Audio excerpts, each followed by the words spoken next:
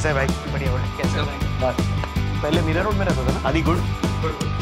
Hello everyone welcome आज हम एक एक्सपेरिमेंट करने वाले हैं मेरे दोस्त प्रणव के साथ कि लोगों को खुश क्या करता है आजकल। बट हमारे पास एक सिंपल सा ब्रेन एक्टिविटी ट्रैकर है। It's sort of a happiness meter ठीक है। ये आपके सर पे लगा देंगे हमारे भाई निमिष जो तुम करते हो दिनचर्या में वो करना। मैच देख रहे हो या अपने पोस्ट कर रहे हो किसी से बात कर जो भी कर। जो अपना रेगुलर चलता है वही ठीक है। एक बार देखना चाहता हूँ मैं कि भाई कितना हैप्पीनेस कहाँ से क्या मिल रही है तुम्हें। ये इसके साथ ब्लूटूथ से कनेक्टेड है। कूल हम्म काफ़ी इंटरेस्टिंग लग रहा है। तो ये जो कैमरे है ना हाँ। यहाँ लगे रहेंगे ठीक है? ठीक है। मैं और हमारा क्रू चला जाएगा।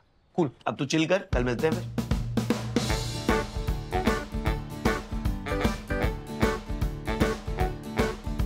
बाय कैमरा सेट है। आदि ऑल गुड मैं तो यार बहुत क्यूरियस हूँ। यार new tech always gets me going okay let's see साढ़े बारह से पौने एक तक। कुछ हुआ है क्या? थोड़ा स्पाइक है। तो मैं आप ही का कंटेंट देख रहा था। हाँ। लास्ट वाला बहुत अच्छा वीडियो है। मुझे बहुत हँसी आई थी।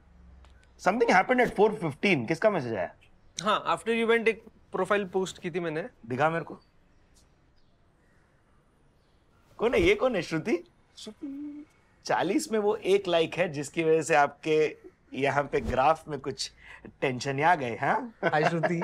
This is interesting I think मुझे कॉल आया था। हाँ। थी कोई। हेलो मैम नमस्ते। नमस्ते। Brain wave dilation here and there so she's your guess should I get up What you can do, you can just send it in. Walking walking चलिए अब यहाँ पे करीब एक डेढ़ घंटा काफ़ी ऐसे ऊपर नीचे ऊपर नीचे रहा।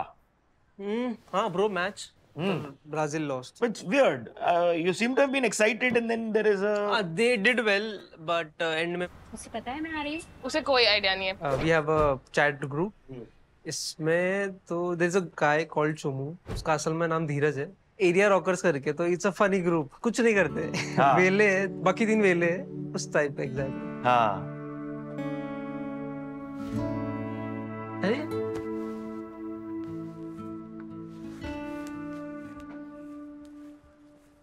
मिलवा हम सबको कौन है बता? गाइस दैट्स माय मम नमस्ते आंटी नमस्ते। नमस्ते। आदित्य। आंटी आई है तो झप्पी पाओ यार ढंग से मिलो।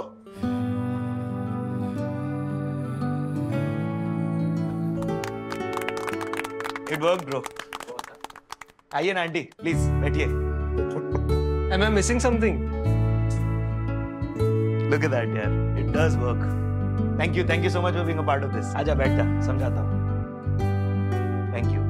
इसी के लिए हमने एक्सपेरिमेंट किया था। यहाँ से लेके यहाँ तक। ये आप लोगों ने एक हद किया। बाकी पूरे दिनचर्या इसकी आज कल मिला के इतना स्पाइक नहीं हुआ जितना अभी हुआ। कोई कंपैरिजन ही नहीं है यार। कैन यू बिलीव दैट कब हक किया था लास्ट मम्मी को? पता नहीं। कब किया था आंटी इसने आपको लास्ट टाइम बताओ? बचपन में जब स्कूल से आता था ना आते ही मुझसे चिपक जाता था। और सब शेयर करता था। पर अब बहुत बिज़ी रहता है। क्या हो जाता है ना, बच्चे बड़े हो जाते हैं तो फिर ऐसा हक वक करना थोड़ा सा कम कर देते हैं, क्यों?